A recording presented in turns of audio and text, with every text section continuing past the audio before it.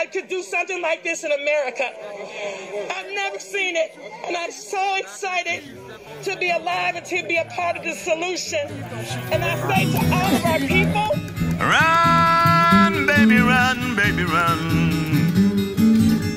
These streets are marked black and white, and I know. Run, baby, run, they're coming. Guns blazing under the streetlights. I can breathe with the white men hanging around my neck.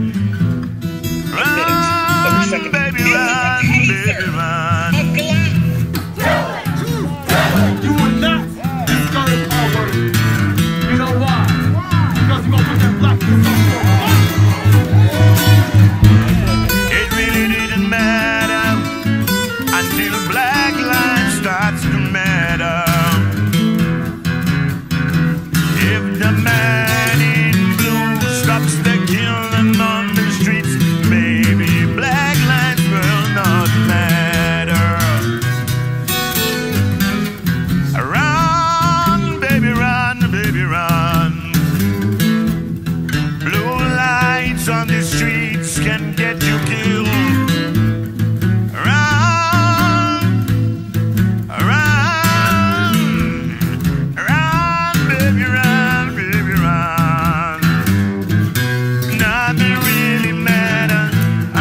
Blacklines matter run,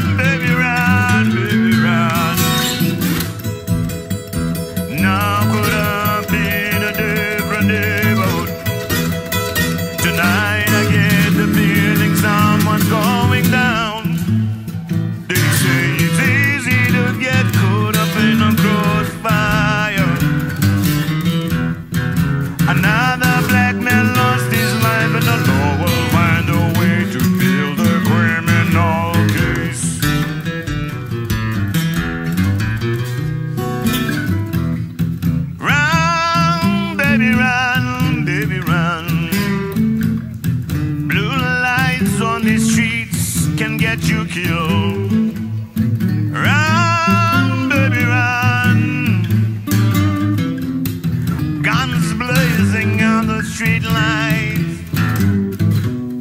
It didn't matter until black starts to matter. And it's not just George Floyd. You look back even in modern history in my lifetime.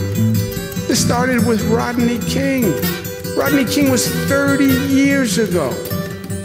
We suffered in this city through Abner Louima and Amadou Diallo and Sean Bell and Eric Garner. How many times have we seen the same situation? Yes, the names change, but the color doesn't. And that is the painful reality of this situation. Eight weeks from now, we will have sentencing. Bail is revoked, bond is discharged, and the defendant is remanded to the custody of the Hennepin County Sheriff.